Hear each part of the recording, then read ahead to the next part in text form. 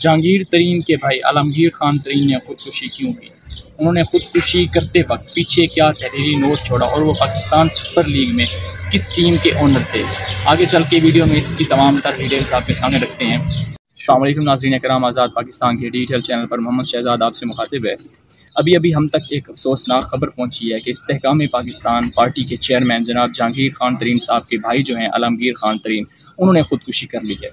वो इस वक्त लाहौर में मुकीम थे और बताया जा रहा है इब्तदाई रिपोर्ट्स के मुताबिक जो हम तक इतलात पहुँची है, उसके मुताबिक उन्होंने अपने आप को सर में गोली मारी है।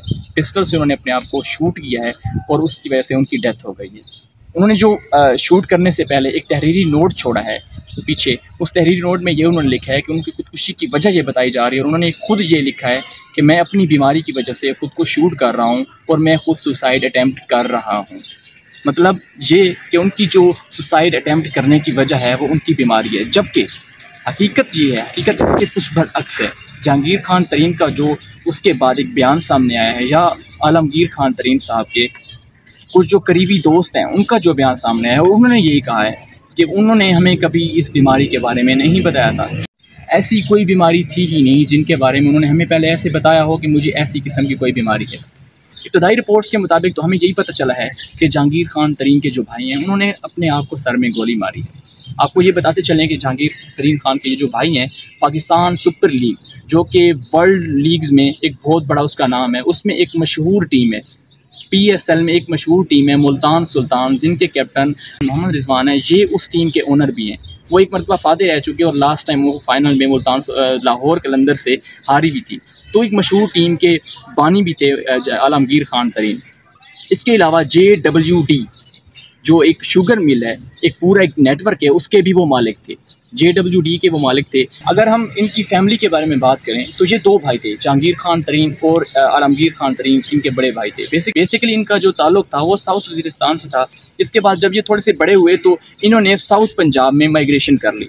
वहाँ पे इन्होंने अपना बहुत बड़ा नेटवर्क बनाया, अपनी शुगर मिल्स बनाई, अपनी ज़मीनें खरीदी और ये सब कुछ किया और आज जो थे वो लाहौर में मुकीम थे, अपने फ्लैट में थे और वहाँ पर जो है उन्होंने सुसाइड अटैम्प्ट की है।